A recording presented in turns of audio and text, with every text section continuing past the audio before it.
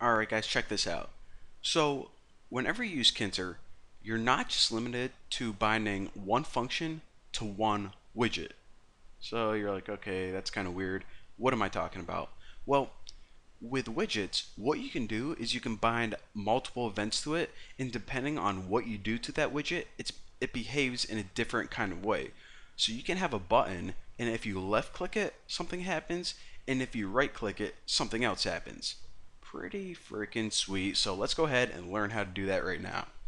So what I want to do is I want to build a uh, like one widget, and I want to say if you left click it or middle click it or right click it, three different things are going to happen. So we need three different functions that we can have occur. So I'm going to call the first one left click.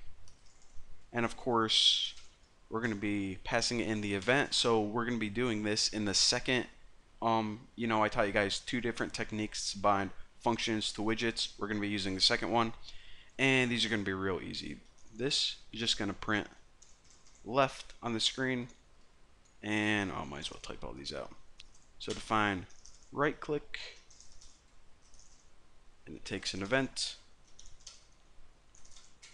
print right and of course the last one actually let me put it in here might as well put it nice in order okay you know what you're just freaking ticking me off right now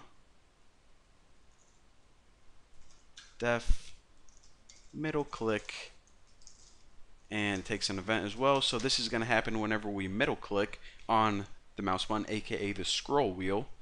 And this is just going to print middle. Go figure. So now we have three different functions that can be called. So instead of just having a button, actually let me build a very basic frame. So this is going to be, it's going to look like just an empty uh, root window, but there's actually going to be an invisible frame in there. So of course, if you guys forgot, the keyword is frame. And says where do you want to place it in our main window. And two other parameters that you can add to this are the width. And we'll just set that equal to like 300 pixels. And we'll set the height equal to, I don't know, like uh, 250. Now again, and actually you don't have those it's not a string. What the heck is... Do you guys hear that? It's like a street sweeper or something going outside my house, but uh, there actually are no street sweepers that go on my street, so I don't know what it is. Anyways, there's a little distraction. So what this is going to look like, since we have an invisible frame inside our window, it's just going to pretty much adjust the size of the window itself. So if you have this 600 by 400, it's just going to look like a 600 by 400 blank window.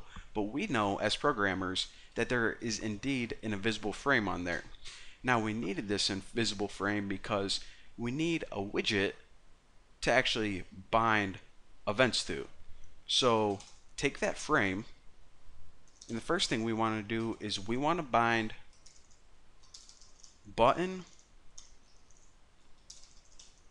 1. And remember, that is just left clicking on your mouse. And of course, what do we want to call when that occurs? Left click.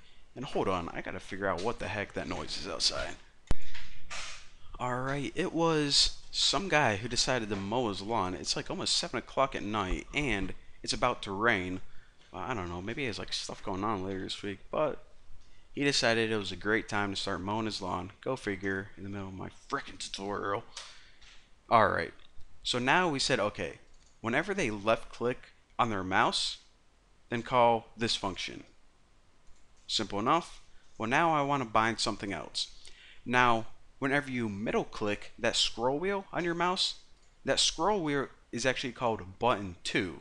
So whenever they middle click on this frame, call middle click, and if I copy this, you guys can see how this program is going to finish out.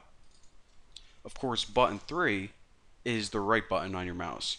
So if you don't have a middle scroll wheel, or if you aren't worried about it, then you don't need to include this. But 1, 2, 3, left, middle, right, pretty easy to remember all the buttons in order.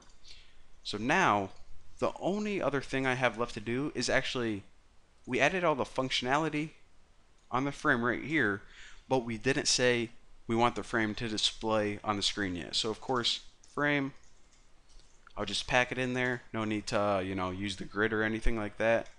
So let me run it right here. And of course, remember, like I said, there aren't any visible widgets that are going to appear since a frame is just a blank empty container. However, it is 300 wide by 250 tall, even though, you know, there's no way of telling that without measuring it. So keep an eye down here about what's going on. I know you guys can't see my mouse, but check it out. I'm going to left click right now, and it says left.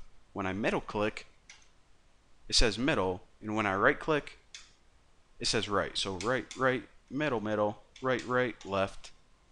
Pretty sweet song.